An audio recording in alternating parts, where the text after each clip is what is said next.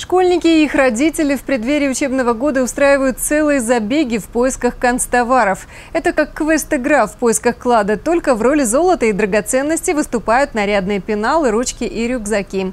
На поиски канцелярских сокровищ отправилась и наша съемочная группа. Дневник, тетрадки, ручки, пеналы, пластилины, краски, карандаши цветные. За покупками только со списком, где указано, что купить и в каком количестве. Делать запасы здесь эксперты не советуют. Мелочевка, ручки, эластики потеряются, из одежды ребенок может вырасти. Школьные принадлежности лучше покупать в течение года. Больше всего, конечно, констоваров просят э, у начальной школы, потому что у них больше необходимых, э, скажем так, аксессуаров. То есть им еще нужны папки для тетрадей, потому что они не могут организовать место в портфеле. Им нужны большие пеналы.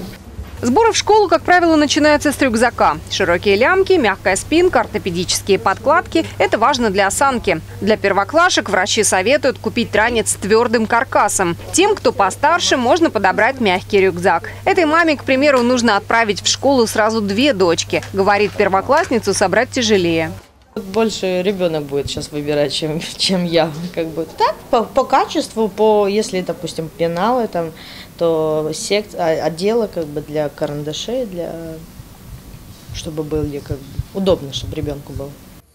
Ранцы и пеналы, ластики и линейки, тетради и альбомы. Это и многое другое для школы сейчас самый ходовой товар. Из года в год, говорят продавцы, меняется мода на изображение. Среди популярных мультяшные герои то винкс, то единороги. Подбирать нужно не только яркий товар, но и качественный. Вот в этом году я, я взяла вот такой вот пенал, только розового цвета. А в прошлом году у меня был со смайликами пенал, э, с он был с двумя отсеками. Все в этом году э, розового цвета выбрала. Плотность листа – это главный критерий при выборе тетради. При выборе ручки необходимо учитывать возраст ребенка. Шариковая с полумиллиметровой толщиной стержня больше подойдет для начальной школы. Гелевая – для школьников, имеющих навык письма. Карандаши лучше со средней степенью мягкости грифеля. Желательно, чтобы корпус был выполнен из пластика. Грифель внутри не сломается. Таким образом, главный критерий при выборе канцелярских принадлежностей – это правильное соотношение безопасности, удобства, качества качества и цены товара.